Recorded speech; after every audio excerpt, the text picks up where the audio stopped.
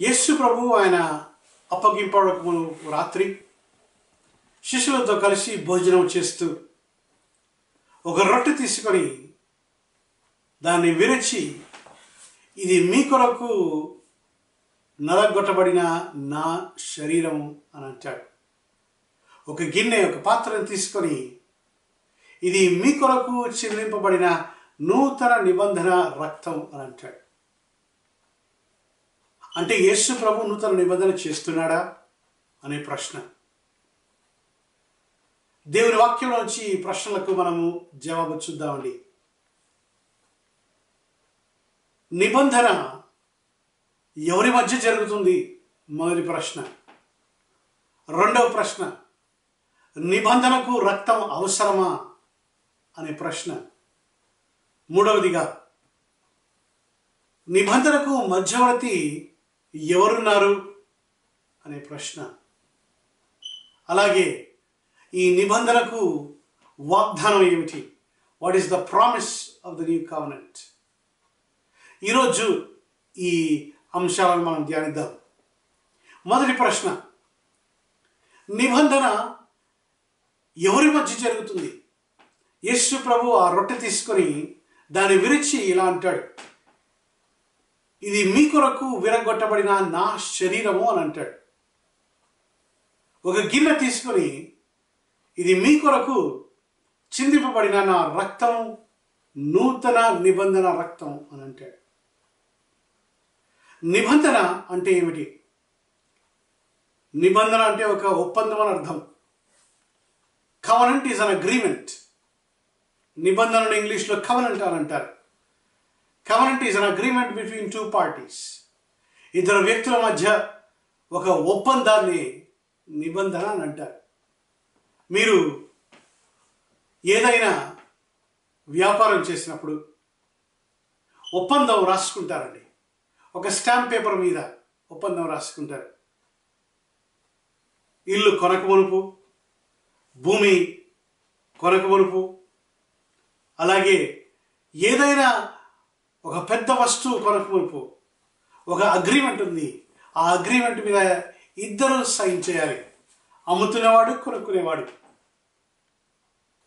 మనుషులను పశువులను జంతువులన్నిటినీ కూడా సంహరిస్తాడు. దాని తర్వాత నోహుతో ఆయన ఒక నిబంధన చేస్తాడు. ఆ నిబంధనతో వా- వాగ్దానం ఇస్తాడు. ఆ నిబంధనలో బలి అర్పణ ఉంది. ఆ నిబంధనలో దేవుడే దిగి వచ్చి ఆ నిబంధన చేస్తాడు. ఆ నిబంధనకు ఒక వాగ్దానం ఇస్తాడు. The promise of the covenant ఇంకా ఎన్నడను జలం ద్వారా భూమిని నేను నాశనం చేయనని వాగ్దానం చేస్తాడు. భూమి ఉన్నంతకాలం ఈ నాలుగు ఋతువులు ద ఫోర్ సీజన్స్ ఉంటాయి అని దేవుడు చెప్తాడు. అది కన్నా ఎనిమిదో అధ్యాయం ఆఖరి వచనాల్లో. అలాగే దేవుడు అబ్రహాంతో నిబంధన చేస్తాడు. ఆయనే దిగి వచ్చి నిబంధన చేస్తాడు.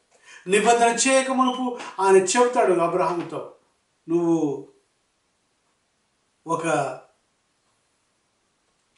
పావురాలను ఒక మేకను అలాగే ఒక గేదెను తీసుకుని వచ్చి అక్కడ నువ్వు ఆ అర్పణాన్ని సంహరించి అక్కడ ఉండు నేను వచ్చి వాగ్దానం చేస్తాను నేను ఒక నిబంధన చేస్తానంటాడు. దేవుడే దిగి వచ్చి నీకు నిబంధన చేస్తాడు. ఆ నిబంధనకు ఒక వాగ్దానం ఉంటుంది the promise of the covenant ఏమంటాడంటే నీ సంతానం ఆకాశ నక్షత్రముల వలె ఉంటారు. ఇసుక రేణువుల వలె నీ సంతానం ఉంటుంది అని అబ్రహాంతో వాగ్దానం చేస్తాడు నిబంధన చేస్తాడు. నోవుతోనే కాదు అబ్రహాముతోనే కాదు ఇస్రాయేలీలతో కూడా మోషే ద్వారా సీనాయి కొండ మీద ఆయన వాగ్దానం నిబంధన చేస్తాడు. దావిదుతో ఆయన కుటుంబాన్ని గురించి ఆయన నిబంధన చేస్తాడు. దావీదు దేవుని ప్రత్యక్ష గుడారం ఒక టెంట్లో ఉండగా చూసి అయ్యా నీకు ఒక నేను మందిరాన్ని కట్టిస్తాను అన్నప్పుడు ఎంతో సంతోషపడి యహోవా దేవుడు దావిదితో ఒక నిబంధన చేస్తాడు. ఆయన కుటుంబంతో నిబంధన చేస్తాడు.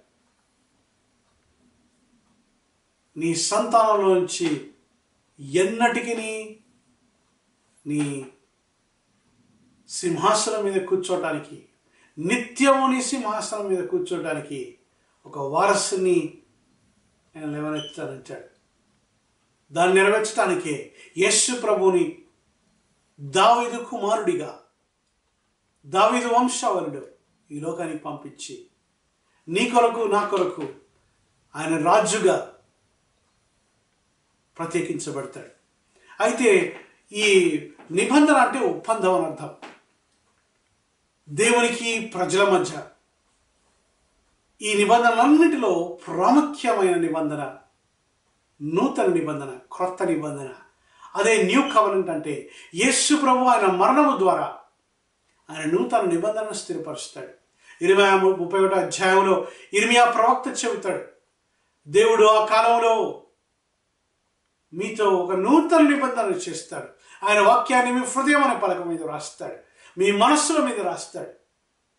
మీరు ఆయన మార్గంలో మీరు నడుస్తారు అని ఈ నూతన నూతన నిబంధన గురించి దేవుడు ఆయన ప్రజలతో చేయబోయే నిబంధన గురించి చెబుతాడు. ఈరోజు ప్రశ్న. యేసు ప్రభు వచ్చాడు. ఆ నూతన నూతన నిబంధనను స్థిరపరచడానికి మీరు ఆ నూతన నిబంధనలో ప్రవేశిస్తారా లేదా అనేదే ప్రశ్న. ఆ నూతన నిబంధనలోకి వస్తారా లేదా అని మీరు ప్రశ్న. ప్రభుతో మీరు నిబంధన చేయడానికి మీరు సిద్ధమా లేదా అనేది ప్రశ్న. చూడండి వివాహం ఒక నిబంధన. ఇద్దరు వ్యక్తుల మధ్య అదొక ఒప్పందం. మరణము ఎడబాపు వరకు మేము కలిసి ఉంటామని ఒకరికొకరు జీవిస్తాం మరణిస్తామని అర్థం. అలాగే దేవునితో మీరు నిబంధన చేయటానికి. నేను ఆయన వాడిగా ఉండటానికి ఆయన దానిగా ఉంటానని మీరు ప్రభుతో నిబంధన చేయాలి. ఆయన నిబంధన చేస్తాడు ఆయన రక్తం ద్వారా. రెండవ సత్యం రెండవ ప్రశ్నకు జవాబు. ఈ నిబంధన చేయటానికి ఒక అర్పణం కాకపోతే రక్తం అవసరమా? యేసు ప్రభు ఆయన అప్పగింపబడక మునుపు ఆ రాత్రి ఒక రొట్టె తీసుకొని దాన్ని విరిచి ఏమంటాడంటే ఇది మీ కొరకు విరగొట్టబడిన నా శరీరము అని అంటాడు. ఒక గిన్నె తీసుకొని ఒక పాత్ర తీసుకొని ఇది మీ కొరకు చిదింపబడిన నా రక్తం అని అంటాడు ఆయన. నూతన నిబంధన రక్తం అని అంటాడు ఒక ఒప్పందం చేయాలంటే త్యాగం ఉండాలి. ఒక ఒప్పందం చేయాలంటే ఒక అర్పణ ఉండాలి.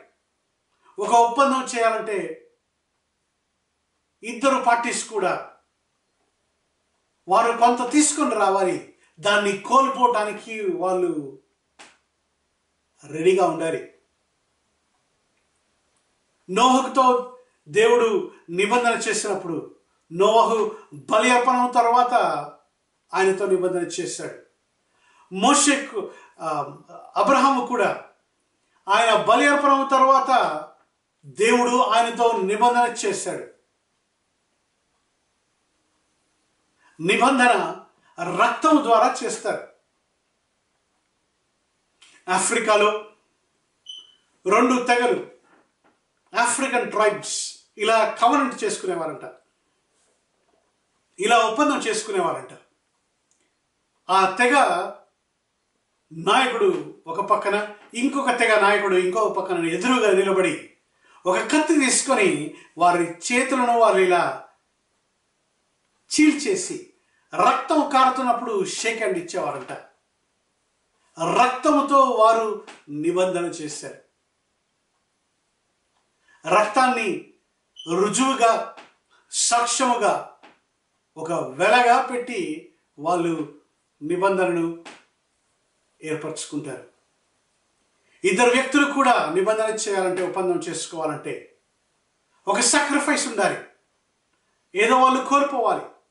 దేవుడు కూడా ఆయన ప్రజలతో వారిని వెలబెట్టి కొనుక్కున్నాడు. నిన్ను నన్ను వెలబెట్టి కొనుక్కున్నాడు.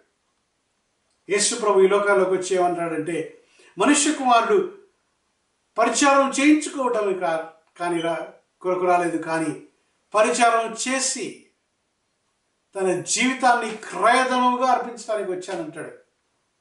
మత్తయి ఇరవై అధ్యాయం ఇరవై ఎనిమిదో వచనంలో మార్కు స్వార్త పదవ అధ్యాయం నలభై ఐదో వచనంలో యేసు ప్రభు తను మన కొరకు మరణించి ఆయన రక్తాన్ని ఒక వెలగా పెట్టి మనల్ని కొనుక్కున్నాడు విమోచించుకున్నాడు.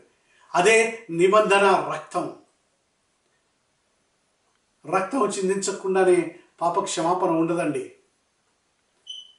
ఆ నిబంధనలో మనల్ని చేర్చుకోవాలంటే దేవుడు మనిషితో నిబంధన చేయాలి అంటే ఒక త్యాగం అవసరం. పాపానికి వచ్చే జీతం మరణం. నీవు నేను మరణించాల్సింది.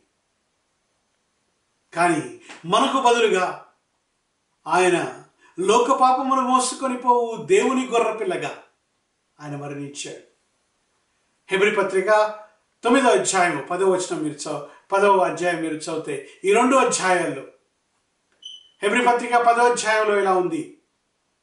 గొర్రెల రక్తం ద్వారా కానీ కోడల రక్తం ద్వారా కానీ మేకల రక్తం ద్వారా కానీ ఆయన పరిశుద్ధ స్థలంలోకి ప్రవేశించలేదు కానీ ఆయన స్వరక్తం ద్వారా విలువైన రక్తాన్ని ఆయన పరలోకానికి తీసుకుని వెళ్ళి నీ కొరకు నా కొరకు మన పాపముల పరిహారం కొరకు ఆయన క్రయదనుగా ఆయన రక్తాన్ని అర్పించాడనింది. నిబంధనను చూడండి పాత నిబంధన ఒకసారి ఆలోచించండి. ఇస్రాయేలీతో మోసే ద్వారా ఆయన నిబంధన చేస్తాడు. ప్రతి సంవత్సరం వారు బలు అర్పించాల్సిందే. ఆ పాప ప్రాయశ్చిత్తార్థ దినమందు డే ఆఫ్ అటోన్మెంట్ అని అంటారు. లేవికాండం పదహారో అధ్యాయంలో వ్రాయబడింది. ఎం కిపూర్ అంటారు హీబ్రూలో.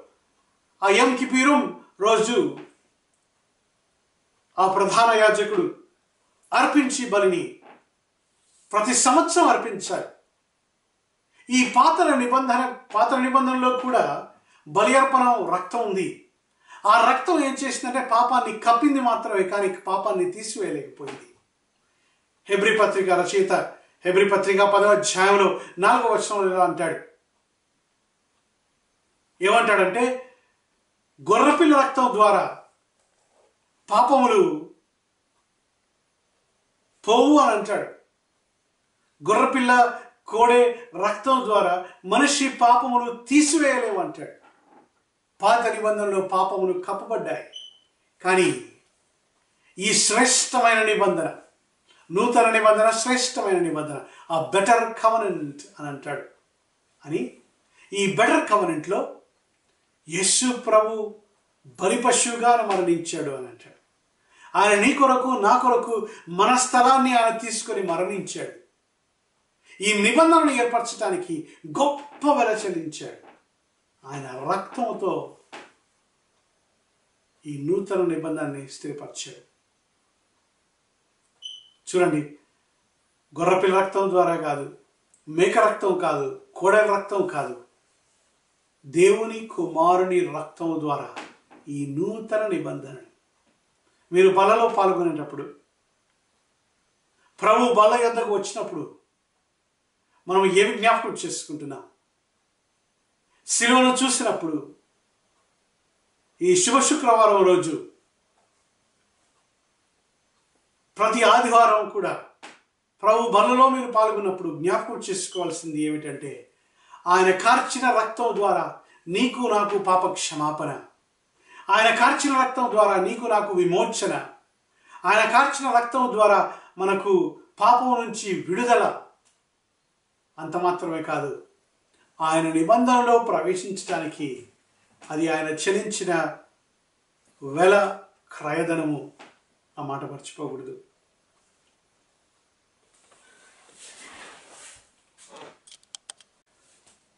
ప్రపంచంలో ఉన్న మతాల యొక్క ఒక కాన్ఫరెన్స్ జరిగిందంట. కాన్ఫరెన్స్ ఆఫ్ వరల్డ్ రిలీజన్స్ ప్రపంచంలో ఉన్న మతాల యొక్క కాన్ఫరెన్స్ ఈ కాన్ఫరెన్స్లో అందరూ మత గురువులు వచ్చి వారి మతాన్ని గురించి వాళ్ళు బోధిస్తూ ఉన్నారంట. బోధించిన తర్వాత ఒక వ్యక్తి మధ్యలో నిలబడి ఒక స్త్రీని ముందుకు తీసుకుని వచ్చాడంట. ఈ స్త్రీ తన సొంత బిడలను ముగ్గురిని చంపివేసింది. తన పాపం తనను వెంబడిస్తుంది. అనుదినము తన కలలో ఆ ముగ్గురు బిడ్డలు వచ్చి అమ్మా అమ్మా అని వాళ్ళు ఏడుస్తున్నట్టు ఈ తల్లి ఆవేదనతో తన చేసిన పాపాన్ని తుడిచివేయలేక తప్పించుకోలేక అనుదినము శోధింపబడుతూ ఎంతో రోదనలో ఉంది. ఏ మతమైనా ఈ పాపం నుంచి విడుదల తనకు ఇవ్వగలదా? అనంటే ఎవ్వరూ నోరు తెరవలేదంట. ఒక క్రైస్తవ దైవజనుడు ఒక పాస్టర్ లేచి అన్నాడంట క్రీస్తు రక్తం ప్రతి పాపం నుండి విమోచిస్తుంది కడిగి వేస్తుంది అన్నాడంట. యేసు ప్రభు నీ పాపం నుంచి నిన్ను విమోచించడానికే ఆయన మరణించాడమ్మా. నువ్వు అంగీకరిస్తావా? అంటే ఆమె కన్నీటితో మోకాళ్ళ మీద తను చేసిన పాపాన్ని ఒప్పుకొని యేసు ప్రభుని రక్షకుడిగా అంగీకరించిందంట. ఆ రోజు నుంచి ఆ కళ రావడం మానేసింది. హృదయంలో శాంతి సమాధానం వస్తే తన జీవితాన్ని ప్రభువుకు సమర్పించింది. ఇదొక కట్టుకథ కాదు నిజంగా జరిగిన సంఘటన. అనేకులు కూడా యేసు ప్రభు దగ్గరికి వచ్చి వారి పాత పాపపు జీవితాన్ని వదిలిపెట్టి ప్రభు కొరకు జీవించడానికి వారు పూనుకుంటున్నారు. మీరు ఎలా ప్రభు దగ్గరికి వస్తారా? అనే ప్రశ్న. ఈ శుభ శుభ శుక్రవారం ఈ వారంలో యేసు ప్రభు యొక్క శిలవ మరణాన్ని మనం జ్ఞాపకం చేసుకుంటుండగా ఆయన కార్చిన రక్తాన్ని ఆయన శిలువ మరణాన్ని జ్ఞాపకం చేసుకుందాం. నీ కొరకు నా కొరకే మరణించాడు ఏ పాపం ఎరుగని దేవుని గొర్రెపిల్ల ఆయన. నీ కొరకు నా కొరకు మరణించి తిరిగి లేచాడు. మూడో ప్రశ్న యొక్క జవాబు చూద్దాం. ఇద్దరు వ్యక్తుల మధ్య నిబంధనలు చేయటానికి ఒక మధ్యవర్తి ఉండాలి. ఈ ఇద్దరు వ్యక్తులు ఎవరు? మధ్యవర్తి ఎవరు? హెబ్రి పత్రిక ఏడో అధ్యాయము ఇరవై రెండో వచనం ఏమంటుందంటే యస్సు ప్రభు ఈ శ్రేష్టమైన నిబంధన యొక్క మధ్యవర్తి అని వ్రాయబడి ఉంది. ప్రపంచంలో ఉన్న మతాల యొక్క ఒక కాన్ఫరెన్స్ జరిగిందంట. కాన్ఫరెన్స్ ఆఫ్ వరల్డ్ రిలీజన్స్ ప్రపంచంలో ఉన్న మతాల యొక్క కాన్ఫరెన్స్ ఈ కాన్ఫరెన్స్లో అందరూ మత గురువులు వచ్చి వారి మతాన్ని గురించి వాళ్ళు బోధిస్తూ ఉన్నారంట. బోధించిన తర్వాత ఒక వ్యక్తి మధ్యలో నిలబడి ఒక స్త్రీని ముందుకు తీసుకుని వచ్చాడంట. ఈ స్త్రీ తన సొంత బిడలను ముగ్గురిని చంపివేసింది. తన పాపము తనను వెంబడిస్తుంది. అనుదినము తన కలలో ఆ ముగ్గురు బిడ్డలు వచ్చి అమ్మా అమ్మా అని వాళ్ళు ఏడుస్తున్నట్టు ఈ తల్లి ఆవేదనతో తన చేసిన పాపాన్ని తుడిచివేయలేక తప్పించుకోలేక అనుదినము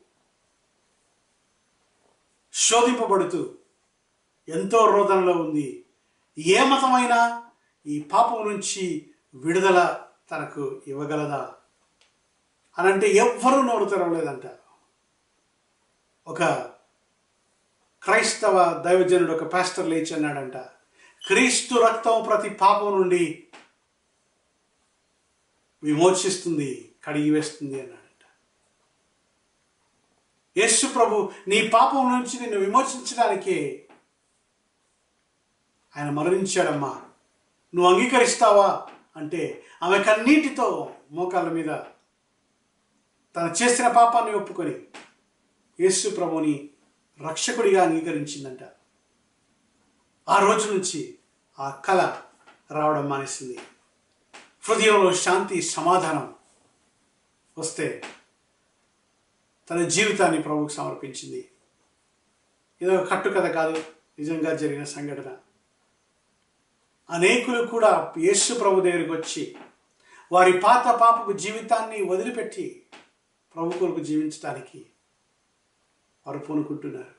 మీరు ఎలా ప్రభు దగ్గరికి వస్తారా? అనే ప్రశ్న.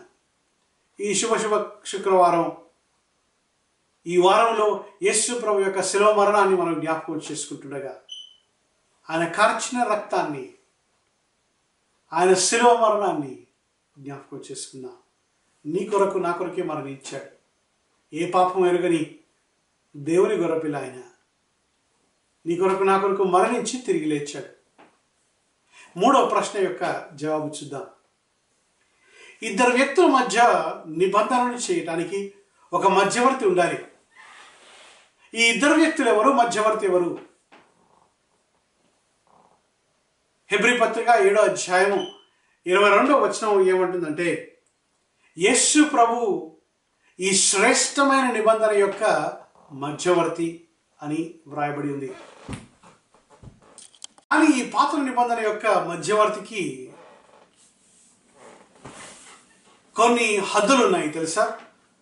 ఈ మధ్యవర్తి మోసే ఆయనే ఆ నిబంధనలు పాటించకుండా దేవుని దృష్టిలో పాపం చేస్తాడు. ఎప్పుడూ ఎప్పుడు కూడా నిత్యము కూడా ఆయన మధ్యవర్తి ఉండకుండా ఆయన మరణిస్తాడు. వాగ్దాన దేశానికి ఆయన అంచు వరకు తీసుకొని వస్తాడే కానీ వాగ్దాన దేశంలోకి ఆ ప్రజలను ప్రవేశించపెట్ట ప్రవేశించపెట్టలేకపోతాడు ఆయన ఈ అరణ్యంలోనే నెబో పర్వతం మీద పిసుగాను చూస్తూ మరణిస్తాడు. ఈ పాత నిబంధన యొక్క మధ్యవర్తిలో ఒక తప్పు చూస్తాం మనం. ఆ నిబంధనను నెరవేర్చలేని ఆ నిస్సహాయ స్థితిని మనం మోసలో చూస్తాం. కానీ ఈ నూతన నిబంధన ఈ నూతన నిబంధన ఒక కండిషనల్ కమనెంట్ కాదండి. నువ్వు ఇది చేస్తే నీకు ఇది చేస్తాను అనే ఒక కండిషన్తో కూడిన వాగ్దానం కాదు. కండిషన్తో కూడిన ఒప్పందం కాదది. యేసు ప్రభు మన మధ్యవర్తి. దేవుడికి ఆయన ప్రజలకు మధ్య మధ్యవర్తి యేసు ప్రభు. యేసు ప్రభు ఆయన సంపూర్ణముగా ఆయన దేవుడు సంపూర్ణంగా ఆయన మనిషి. Is fully God and fully man ఆయన ఈ శరీరంలో ఉన్నప్పటికీ కూడా ఆయన దేవుడిగా ఉన్నాడు. ఈ శరీరంలో మానవులతో మనుషులతో ఎవరికైతే ఆయన నిబంధనలు స్థిరపరుస్తున్నాడో వారితో తమ తాము ఐడెంటిఫై చేసుకున్నాడు. యేసు ప్రభు ఏ పాపం చేయకున్నా కూడా ఇస్రాయేలుతో ఒకని వాడను అని ఆయన బాప్తిసం పొందాడు తెలుసా? బాప్తిసం ఇచ్చే యోహాను బాప్తిసం ఎందుకు యేసు ప్రభు తీసుకోవాలి? బాప్తిసం ఇచ్చే యోహానేమో మీ పాపం నిమిత్తం మీరు ప్రాయశ్చితం మారు మనస్సు పొంది మీరు బాప్తీసం తీసుకోండి అన్నాడు. యేసు ప్రభు పాపమే చేయలేదే. బాప్తీసం ఎందుకు తీసుకోవాలి? ఇస్రాయేలీలతో ఆయన ప్రజలతో తన ఏకీభవించడానికి బాప్తీసం తీసుకున్నాడు. సమస్త నీతిని ఆయన నెరవేర్చడానికి ఆయన బాప్తీసం తీసుకున్నాడు. చూడండి దేవుడయుండి కూడా మనిషితో తను ఏకీభవించాడు. మనిషి వలె మనిషి రూపాన్ని ధరించుకొని ఈ లోకంలోకి వచ్చాడు. ఫిలిపి పత్రిక రెండో అధ్యాయంలో ఉంటుంది. ఆయన దేవుళ్ళ రూపంలో కనబడిన వాడైనా కూడా మనుష్య రూపాన్ని ధరించుకున్నాడని దాసుని రూపాన్ని ధరించుకున్నాడని మనం చదువుతాం అక్కడ. Even though he was in the form of God he took the form of man అని ఉంటుంది. He took the form of a servant అని. గ్రీక్లో అయితే మార్ఫాస్ అనే మాట ఉంటుంది. దాని నుంచే మెటమార్ఫసిస్ అనే మాట కూడా వస్తుంది. దేవుని రూపంలో ఉన్నవాడు మనిషి రూపంలోకి వచ్చాడంట. ఎందుకు? దేవుడిగా ఉండి కూడా మనిషిగా అయ్యాడు. మనిషిని అర్థం చేసుకున్నాడు. దేవుణ్ణి సంపూర్ణంగా ఎరిగినవాడు మనిషిని సంపూర్ణంగా ఎరిగినవాడు మనిషి యొక్క బలహీనత ఎరిగినవాడు మనిషి ఆయన చేసిన నిబంధన యొక్క కట్టడాలను నెరవేర్చలేడని బాగా తెలుసు యేసు ప్రభుకి. మనవలే ఆయన అన్ని విషయములలో శ్రదింపబడి ఉండి కూడా పాపము లేనివాడుగా ఉన్నాడని హెబ్రి పత్రిక రెండో అధ్యాయంలో ఉంది. పదిహేడు పద్దెనిమిది వచనంలో. అన్ని విషయములలో ఒక మనిషి శోధింపబడ్డట్టే మన ఆయన శోధింపబడ్డాడు. చూడండి. దేవుడై ఉండి కూడా మనుషులతో ఆయన ఐడెంటిఫై చేసుకుంటున్నాడు. ఎందుకంటే దేవునికి మనిషికి మధ్య ఒక నిబంధనను స్థిరపరచడానికి మధ్యవర్తిగా దేవుణ్ణి అర్థం చేసుకోవాలి మనిషిని అర్థం చేసుకోవాలి. బిగ్రహం గారు అన్నాడు ఎప్పుడు ఒక మాట అంటారు ఎప్పుడు ఆయన? Jesus Christ with one hand held man and one held with one hand held God and brought them together అని. యేసు ప్రభు ఒక చేతితో దేవుణ్ణి తండ్రి అయిన దేవుని పట్టుకొని ఒక చేతితో మనిషిని పట్టుకొని వారిని ఏకం చేశాడు నిబంధన ద్వారా అని అన్నాడు. మన మధ్యవర్తి మరణంతో ఆయన యాజకత్వం ఆగిపోలేదు. మోషే మరణించి ఆయన యాజకత్వాన్ని ఆయన ముగించేశాడు.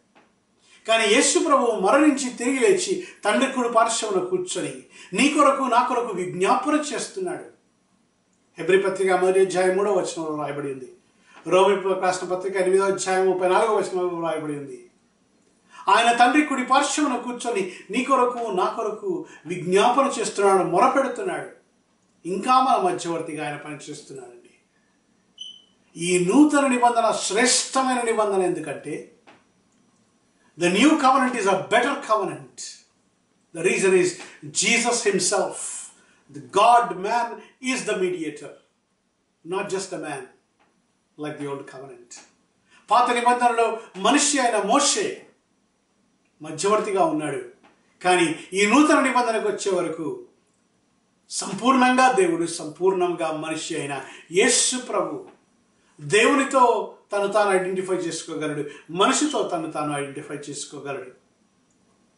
నీ వలె నా వలె ఆకలి కొని ఆ చెట్టు దగ్గరికి వెళ్ళాడు. మనిషి వలె ఆకలిగా ఉన్నాడు దేవుని వలె ఆ చెట్టుని శపించాడు. నీ వలె నా వలె అలసిపోయి ఆయన నావలో ఓడలో నిద్రపోయాడు. లేచి దేవుని వలె ఆయన తుఫానుని గద్దించాడు.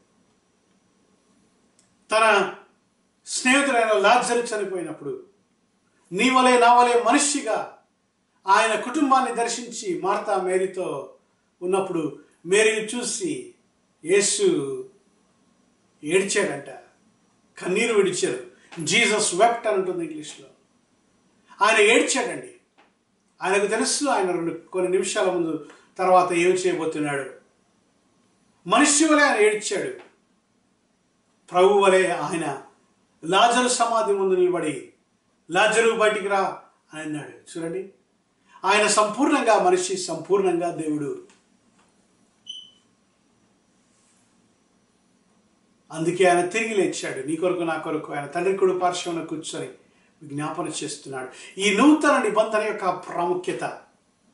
మరణించి తిరిగి లేచి కూడా మన ప్రధాన యాజకుడు మన మధ్యవర్తి పరలోకంలో కూర్చొని నీ కొరకు నా కొరకు విజ్ఞాపన చేస్తున్నాడండి. అందుకే మన రక్షణ ఒక గొప్ప రక్షణ. ఎబ్రి పత్రిక రెండో అధ్యాయం మొదటి వచనం ప్రకారం.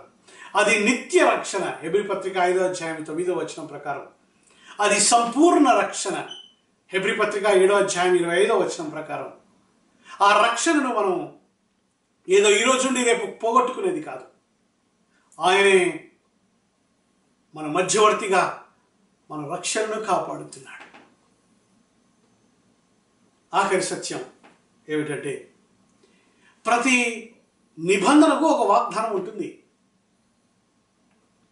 నోహుతో దేవుడు వాగ్ నిబంధన చేస్తూ ఏ వాగ్దానం చేస్తారంటే ఇక మీద ఎన్నడను నేను వర్షము ద్వారా నీళ్ళ ద్వారా భూమి అంతటి నాశనం ఎప్పుడూ చేయను అని వాగ్దానం చేస్తాడు. దానికి గుర్తుగా the sign of the covenant ఒక రెయిన్బోను పంపిస్తాడు. ఇంద్రధనస్సును పంపిస్తాడు. అది చూసినప్పుడల్లా మనుషులు జ్ఞాపకం చేసుకోవాలి. ఇది దేవుడు ఆయన నోవహతో చేసిన నిబంధన యొక్క ప్రామిస్ ఇది అని ఒక వాగ్దానం అని. ఎన్నడూ నేను భూలోకం అంతటిని వర్షం ద్వారా నాశనం చేయను వర్షం కురిచినప్పుడు మనుషులకు భయం అవుతుందేమో వరదలు వచ్చి మేము చనిపోతామేమో అని. భూమి అంతా నాశనం అయిపోతుందని మనుషులకు భయం కలిగినప్పుడు ఆ ఇంద్రధనస్సు రెయిన్బోను చూసినప్పుడు మనుషులు ఏమనుకుంటారంటే దేవుడే వాగ్దానం చేస్తాడు. నేను నశింప చేయనని ఆ వాగ్దానాన్ని నిలబెట్టుకుంటాడు అని గుర్తు చేసుకుంటారు మనుషులు. అబ్రహాముతో దేవుడు నిబంధన చేశాడు పిల్లలే లేరు అబ్రహాముకి. డెబ్బై ఐదు సంవత్సరములు ఉన్నప్పుడు అబ్రహాముతో దేవుడు మాట్లాడుతూ ఉన్నాడు. నువ్వు ఒక బలి పశువుని తీసుకొని రా నీతో నిబంధన చేస్తానంటాడు. ఆది కాండం పదిహేనో అధ్యాయంలో. ఆయన బలి అర్పించిన తర్వాత దేవుడే ఆయనతో అంటాడు నీ సంతానం ఆకాశ నక్షత్రముల వలె ఉంటారని. నక్షత్రములు మీరు లెక్కించలేనట్లు నీ సంతానం ఉంటుంది. నీ సంతానం ఇసుక రేణువుల వలె ఉంటారు అని. అబ్రాహ్మును అబ్రహాముగా మారుస్తాడు సరాయిని సారాగా మారుస్తాడు. చూడండి అది ఆయన చేసిన వాగ్దానం. నిబంధనతో వాగ్దానం ఉంటుంది. అలాగే ఇస్రాయేలుడితో మోస ద్వారా చేసిన సీనాయి కొండ మీద ఆ పాత నిబంధన ఆ వాగ్ దానికి వాగ్దానం చూడండి. ద్వితీయ దేశ దేశకాండం ఇరవై ఎనిమిదో అధ్యాయం చదివితే మీరు ఈ ఆజ్ఞలు పాటించండి. మీరు ఇంట్లో ఆశ్రయింపబడతారు బయట ఆశ్రయింపబడతారు. మీ మీ కిచెన్లో కూడా మీరు వండుకునే వస్తువులు కూడా మీ నూనె ఆశ్రయింపబడుతుంది. మీ పిండి ఆశ్రయింపబడుతుంది మీ ఆహారం ఆశ్రయింపబడుతుంది మీ పిల్లలు ఆశ్రయింపబడతారు మీరు చేసే సేద్యం మీ భూమి కూడా ఆశ్రయింపబడుతుంది. మీరు అన్నిటిలో ఆశీర్వదింపబడతారని అదొక ప్రామిస్గా ఇస్తాడు ప్రభు. వాగ్దానం నిబంధనలతో వాగ్దానం. దావిదుతో దేవుడు వాగ్దానం చేస్తున్నాడు. రెండో సమయాల గ్రంథం ఆరో అధ్యాయం ఏడో అధ్యాయం మీద చదవండి. ఆరో అధ్యాయంలో ఏం వ్రాయబడిందంటే దావీదు మందసపు పెట్టిని చూస్తాడు. ద ఆర్క్ ఆఫ్ ద కవరెంట్ని చూసి ప్రభువా నేనైతే ఒక గొప్ప ప్యాలెస్లో భవనంలో జీవిస్తున్నాను. నీ సన్నిధి అయితే ఒక టెంట్లో ఉంది కదా ప్రభా నీకో మందిరాన్ని కట్టిస్తాను నేను అని అంటాడు దావీదు.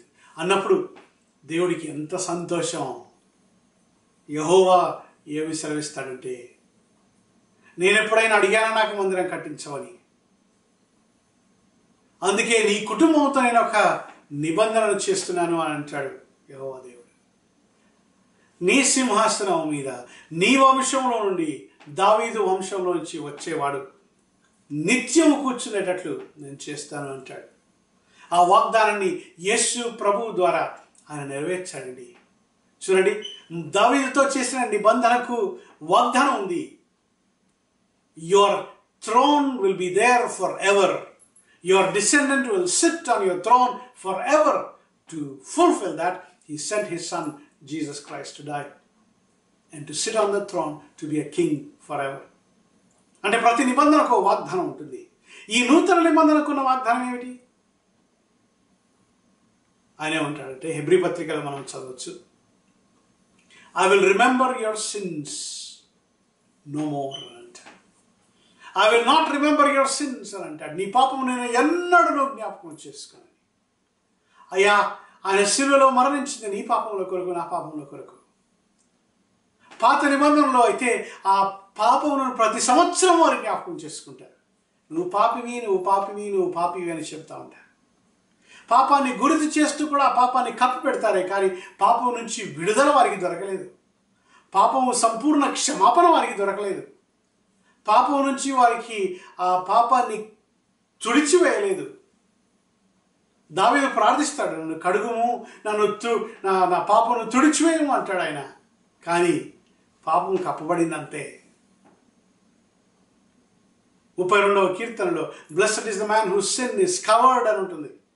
ఎవరి పాపం కప్పబడిందో దాచిపెట్టబడింది చూడకుండా అది కవర్ చేయబడింది అంతే కానీ యేసు ప్రభు రక్తం ద్వారా ప్రతి పాపము కడిగివేయబడింది. ఇంకా ఎన్నడూ జ్ఞాపకం చేసుకోడంట. దేవుడు ఎందుకు జ్ఞాపకం చేసుకోడు? మనం చేసిన తప్పులు మనకే అంత బాగా గుర్తుంటే మన సృష్టించిన సృష్టికర్త సర్వజ్ఞాని అమ్నీషియంట్ గాడ్ మనకు తప్పులు గుర్తుండవు ఆయనకు? ఆయన ఏమంటాడంటే ఆయన చేసిన నిబంధనకు వాగ్దానం the promise of the covenant is I will never remember your sins I will not remember your sins any more కడిగి వేసిన తర్వాత మనిషికి బురదలో పొరద పొరలాడినప్పుడు ఆ బురద ముఖం మీద కడ కనపడవచ్చేమో కానీ కడిగేసిన తర్వాత ఆ బురద కనపడుతుందా? వెతికినా కనపడదు. అంతే కదా? మార్టిన్ లూథర్ గారు పదహారవ శతాబ్దంలో జర్మనీలో ఉండేవారు. ఆయన ఆయన పాపం ఆయనకు జ్ఞాపకం వచ్చి ఎంత ఆయన వేదనలో ఉండేవాడంటే రోజుకు ఆరు గంటలు ఆయన వెళ్ళి పాపాన్ని ఒప్పుకునేవాడంట. ఆయన సూపర్వైజర్ ఆయన స్టౌపిడ్స్ దగ్గర. ఆయన ఆరు గంటలు ఆయన పాపాన్ని ఒప్పుకునేవాడంట. ఆ స్టౌపిడ్స్ గారి నా పాపం ఈ కన్ఫెషన్ విని అయ్యా ఈ చిన్న పాపం నువ్వు ఇంతసేపు ఒప్పుకోవాలా? అని నీకు ఈ పాపం నుంచి విడుదల దొరకాలి అని దేవుని వాక్యాన్ని చదవమన్నాడట. ఆయన రోమిలకు రాసిన పత్రిక చదువుతున్నాడు. దేవుని వాక్యాన్ని బోధించడానికి ఒక బైబిల్ కాలేజీకి ప్రొఫెసర్గా వెళ్తాడు మార్టిన్ లూథర్ గారు. బోధిస్తున్నప్పుడు రోమిలకు రాసిన పత్రిక దగ్గరికి వస్తాడు. వచ్చిన తర్వాత ప్రభు ద్వారా పట్టబడతాడు. నిజంగా ఆయన తిరిగి జన్మిస్తాడు. రోమిలకు రాసిన పత్రిక చదువుతూ ఆయన నేను ఏ పని చేసి కూడా నా రక్తాన్ని ఆ నా నా పాపాన్ని తుడిచివేసుకోలేను అని తెలుసుకుంటాడు. ఏసు రక్తమే నన్ను నీతిమంతుడిగా తీర్చు తీరుస్తుంది అని. నీతిమంతుడిగా కావడానికి దేవుని దృష్టిలో ఈ పాపం నుంచి విడుదల దొరకాలంటే మనిషికి మనం ఎంత ఒప్పుకున్నా కూడా ఆ పాపం యొక్క జ్ఞాపకం అక్కడే ఉంటుంది. దేవుడే దానికి విమోచన వెలుగుడు ఇవ్వాలని గుర్తు చేసుకుంటాడు. ప్రభు సన్నిధిలో ఆయన పశ్చాత్తాపడి మారు మనసు పొంది అప్పుడు ఆయన రోమన్ క్యాథలిక్ చర్చ్కు తిరుగుబాటు చేసి ప్రొటెస్ట్ చేస్తాడు. అందుకే మనందరినీ ప్రొటెస్టెంట్స్ అని అంటారు. రోమిలకు రాసిన పత్రిక మార్టిన్ లూథర్ను మార్చివేసిందండి. ఏ మంచి క్రియ ద్వారా ఆ పాపాన్ని తుడిచి తుడిచివేయలేమని నేర్చుకున్నాడు. యేసు రక్తమే ప్రతి పాపం నుంచి కడిగి వేస్తుందనే సత్యాన్ని ఆయన నేర్చుకున్నాడు. ఒకరోజు ఆయన ఆయన కళ వచ్చిందంట. ఆయన కళలో ఆయన పడకలో నిద్రపోతున్నాడంట. అయితే సాతానుడు సాతానుడు వచ్చి మార్టిన్ లూథర్ను పిలుస్తున్నాడంట. ఏ మార్టిన్ లూథర్ను లే అన్నాడంట. లే లేవగానే సాతానుడు తన భుజాన్ని ఇలా తట్టాడంట. తట్టగానే ఒక పెద్ద చిట్టి ఒక లిస్ట్ వచ్చిందంట. ఆ చిట్టి మీద ఆ చీటి మీద ఆయన చేసిన ప్రతి పాపం రాసి ఉందంట. మార్టిన్ లూథర్ చదువుతానుడు ఇవన్నీ. చదివి ఆయనకు భయం పుట్టింది. కాకపోతే ఒక్క నిమిషం కళ్ళు మూసుకున్నాడు ఆయన. మూసుకొని నేను రోమిలకు రాసిన పత్రికలు నేను చదివాను కదా. ఆయన రక్తం నా ప్రతి పాపం నుంచి కడిగి వేస్తుందని. నన్ను నా పాపం నుంచి విమోచిస్తుందని. అశాంతానితో అన్నాడంట నువ్వు అన్ని జ్ఞాపకం పెట్టుకున్నావు? నువ్వు మర్చిపోయావు? అన్నాడంట. అనగానే సాతానుడు నేనే మర్చిపోయాను అన్నాడంట. క్రీస్తు రక్తం నా ప్రతి పాపం నుంచి నన్ను కడిగింది అని అనగానే సాతానుడు మాయమయ్యాడంట సహోదరుడా సహోదరి అది నిజంగా మార్టిన్ లూథర్కి వచ్చిన కళ నిన్ను నీ పాపం వెంబడిస్తుంది. కానీ యేసు ప్రభు ఆయన రక్తం ద్వారా చేసిన ఆ నూతన నిబంధనలో ఆ శిలవ మరణం ద్వారా ఆయన కార్చిన రక్తం ద్వారా నీకు పాప క్షమాపణ నీకు విమోచన నీకు విడుదల నీ పాపము ఎన్నడూ జ్ఞాపకం చేసుకోననే వాగ్దానం. కానీ నువ్వు ఆ నిబంధనలోకి నువ్వు ప్రవేశించాలి. ఆ నిబంధనలో ప్రవేశిస్తావా? అనేది ప్రశ్న. శిలువను మనం జ్ఞాపకం చేసుకున్నప్పుడు యేసు ప్రభు మరణాన్ని మీరు జ్ఞాపకం చేసుకున్నప్పుడు నీ కొరకు నా కొరకు మరణించాడని జ్ఞాపకం చేసుకో. ఆయన యుద్ధకు తిరిగిరా నీ పాపంలో ఆయన యుద్ధ ఒప్పుకో ఆ నూతన నిబంధనలోకి నువ్వు ప్రవేశిస్తావు. You will enter the new covenants and your sins will never be remembered the promise of the new covenant I will remember your sins no more నీ పాపం ఎన్నడూ నేను జ్ఞాపకం చేసుకునే వాగ్దానం నీ పట్ల నెరవేరుతుంది. ప్రార్థన చేసుకుందాం. సర్వనంతరానికి వందనాలు స్తోత్రాలు చేస్తున్నాను తండ్రి. నీ బిడలు తండ్రి నీ వాక్యం విని ఉండగా మీరు మా కొరకు మరణించి తిరిగి లేచారు. ఆ రక్తం ద్వారా నూతన నిబంధన మీరు స్థిరపరిచినందుకు నీకు వందనాలు స్తోత్రాలు. ఆ రక్తం ద్వారా సాతాను జయించడానికి మాకు ఇచ్చిన శక్తిని బట్టి నీకు వందనాలు. ఆ రక్తం ద్వారా మా ప్రతి పాపమును కడిగి వేసినందుకు నీకు వందనాలు స్తోత్రాలు.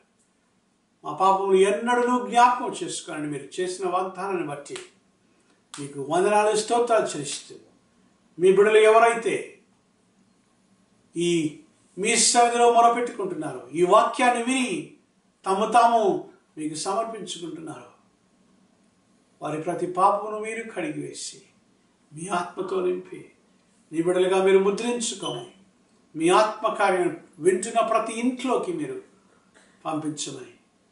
మీ గొప్ప కార్యం ప్రతి ఇంట్లో మీ బిడ్డలు చూడగలుగునుగాక.